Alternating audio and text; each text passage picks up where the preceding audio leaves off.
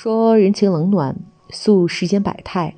大家好，欢迎收听《翠花的秘密》。今天我要给大家分享一个故事。连上两节课下来，我嗓子有点发干，腿也有点酸麻。但当我看到抽屉里手机上齐辉的五个未接来电时，整个人都不好了。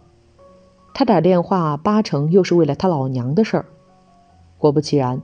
刚接通电话，他就叫开了：“姑奶奶，您终于回电话了，快回家去看看吧！我妈都给我打了七八个电话了。”姓齐的，你妈给你打电话，你让我回去，她生的是你，不是我。我这不是不走不开吗？今天公总公司啊，这个领导在巡视呢，我哪敢呢？拜托啦，行吗？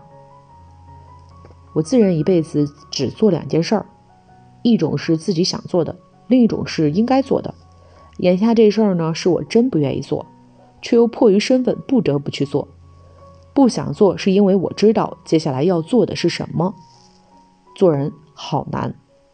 到家刚打开门，就听到婆婆在喊：“辉子啊，妈，是我。”话音未落，往客厅刚走不过五步，我胃里的东西就开始翻腾。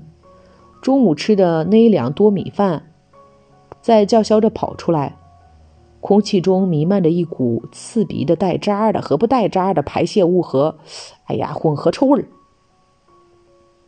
保姆陈怡不知去向，我连忙奔向个窗户，把所有能打开的窗户都打开后，找了个口罩，又找了双皮手套后，再走向婆婆房间。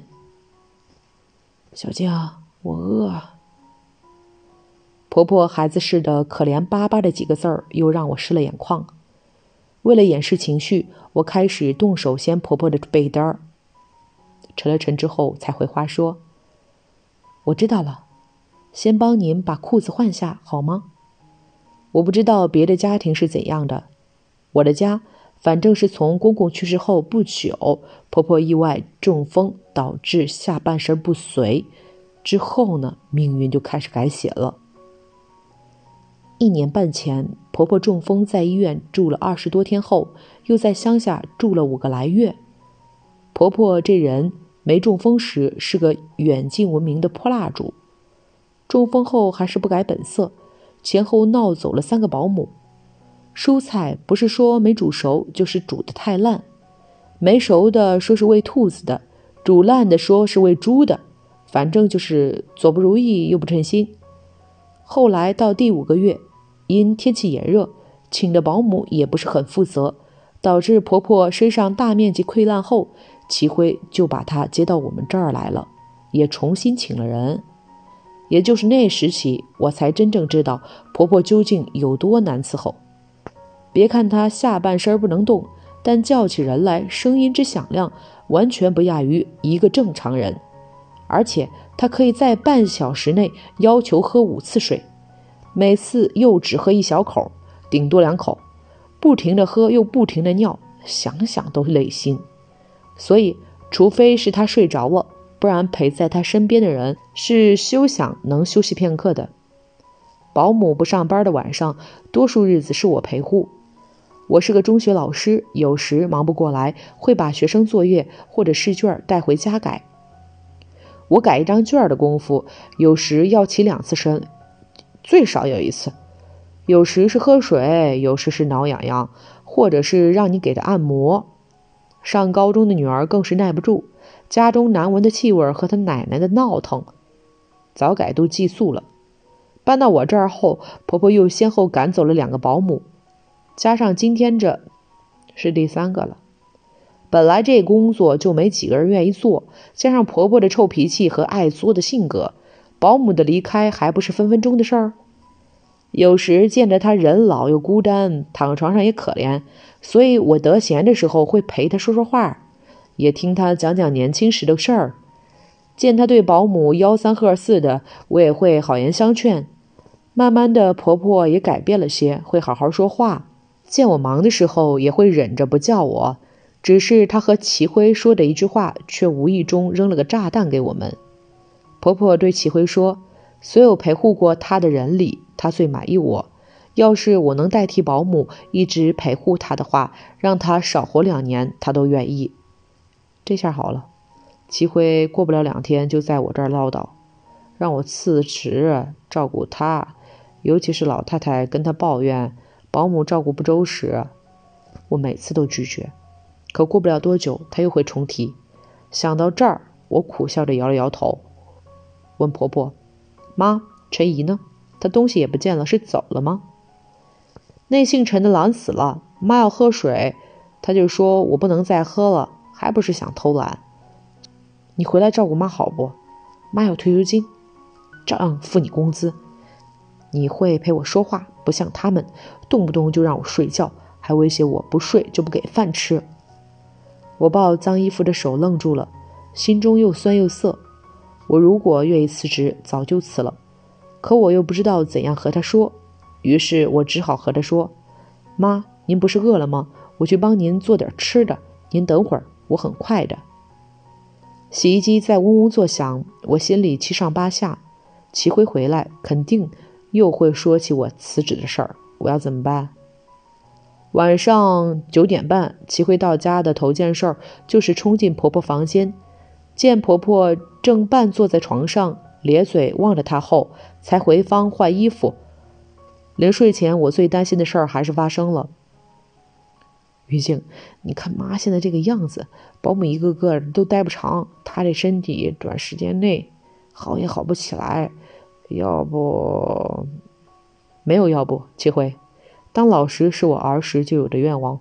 看着孩子们那一双双天真无邪的眼睛，我感知到了这个世界真正的干净。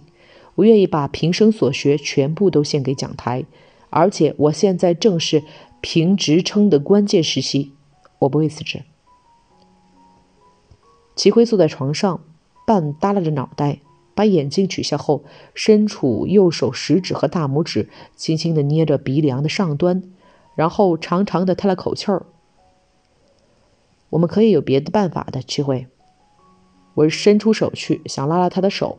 他却迅速的在我的手落下之前借放眼镜，身子侧向了背离我的方向。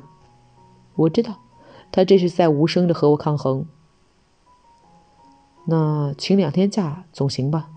我明天再去找保姆看。保姆来之前麻烦你几天，总可以吧？我教的是九年级英语，每一节课都不能浪费，缺的课只能调到以后的时间再补回来。假是真请不起，可眼下身为民企副总经理的他也是分身乏术。他又没有别的兄弟姐妹，如果我再不同意他的提议，他也确实为难。于是我只好默许了。可是我万没料到，齐辉这一请保姆就是一个星期不见人。头两天他发来微信说要加班到很晚，懒得奔波，就睡在办公室了。我没在意。在第三天的时候，学校调课已经很麻烦。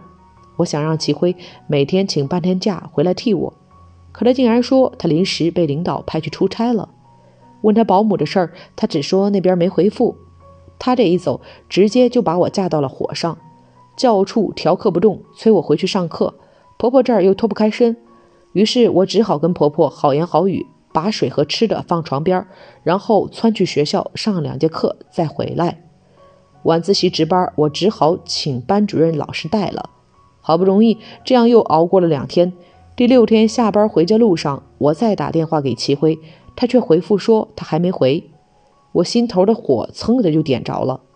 你明知道家里的情况还出差，您的公司就没别的人可以带你去吗？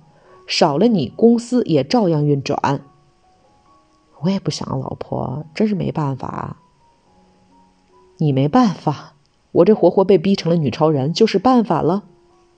再忍两天，老婆，求你了。又是这一套，我连多听一个字儿的欲望都没有了，飞快挂了电话。突然一不愣神儿，我感觉自己和一个人撞了个满怀。抬头一看，是齐辉公司的一个同事。哎，是嫂子，怎么齐总没在一起？齐辉他……啊，我忘了，他今天又加班。我下班的时候还见他在办公室。你是说你下班时见着他了？对呀，我想起来了，他这几天都加班，差不多有，呃，有五六天了。齐辉的同事非常笃定地告诉我，齐辉这些天一直都在公司上班，根本没出差。告别齐辉同事后，我心中五味杂陈，眼泪也呼之欲出。如果齐辉同事所言属实，那齐辉十有八九也没去聘保姆，他这是在将我的军，想以这种方式让我就范，让我忍受不了之后，心甘情愿地辞职回家。第二天上午，我先去了家政公司，然后去了齐辉的公司。见到我后，齐辉的神情只比见到鬼差那么一丢丢。别来无恙啊，齐大经理，不知道您出差什么时候回来的呢？齐辉咬着牙关上门，对我说：“小静，我是真没办法面对我妈。你看，我一个大男人又照顾她。我问你，齐辉，是谁把你带到这世上来的？是你妈，她脾气是不好。”小时候可能也因为工作忽略过你，可她终归是你妈。再说了，你不想面对，就把她扔给我。也许是怕吵起来影响不好，齐辉并没有接我的招，只是继续劝我辞职，说他可以在保姆工资上再加一千块钱给我。你做梦！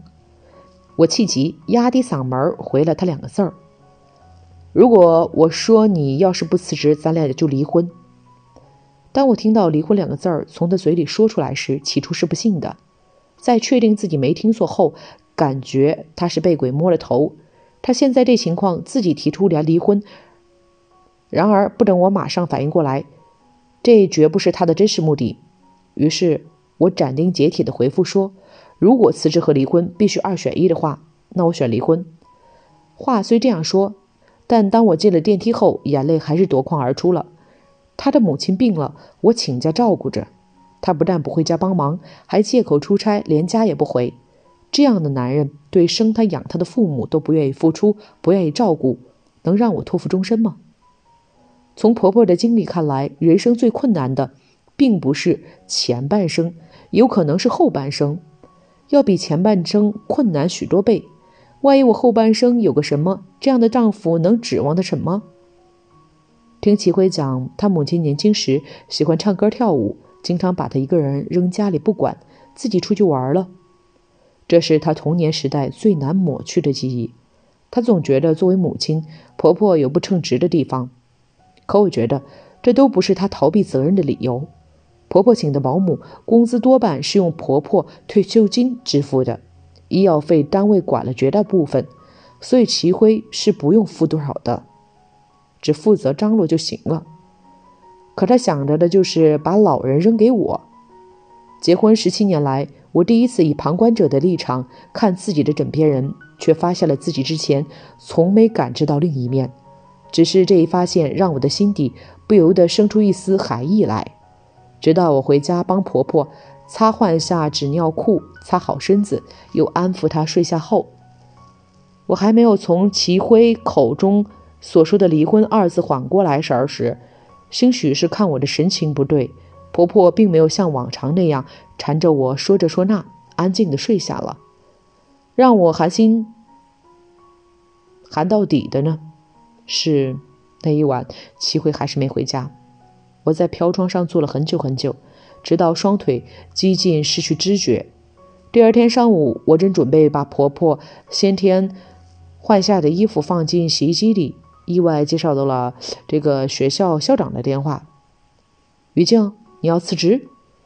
校长和我说齐辉去学校了，说是家中母亲瘫痪，我要照顾老人，工作是顾不上了，想请长假。学校领导以我教的是毕业班，短时间内找不到合适的替补老师，拒绝他后，他就干脆说辞职算了。我连忙和他讲。已经请好保姆，马上就可以恢复上班。后校长才气羞羞地挂了电话。临挂电话前还咕囔着：“真是岂有此理！你这老公也太那个点儿了。”本来我还想打个电话给齐辉，找他求证一下，或是把他说几句。可他的电话号码显示在屏幕上时，我的手又顿住了。这事儿已经非常明显，不用再求证了。我应该考虑的是。自己的去留，回学校上班一个星期后，之前差的课已经补得差不多了。我抽空去了一趟女儿学校，让我欣慰的是，我的女儿她全然能够理解我的辛苦和坚持，这也是在我执着于自己的工作之余最大的骄傲所在。老妈，我看着你趴在桌子上，眼皮都睁不开了，还得改作业，又要应付奶奶，我是真心疼。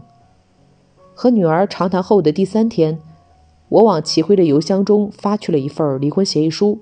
我只要女儿，房子她要的话，就把我那份钱补给我就行。女儿的抚养费，她愿意给就给，不愿意给我不做要求。而且离婚之前的这段日子，我不会再回家。晚上照顾老太太的事儿，请他另做安排。一个只爱自己的人，就让他跟自己过去吧。我知道，成年人的婚姻不是那么好割舍，但我更不想屈就自己。好了，今天的故事就到这里。如果您有喜欢的故事，记得在视频下方留言，我们会尽力满足您的需求。期待下次与您的分享。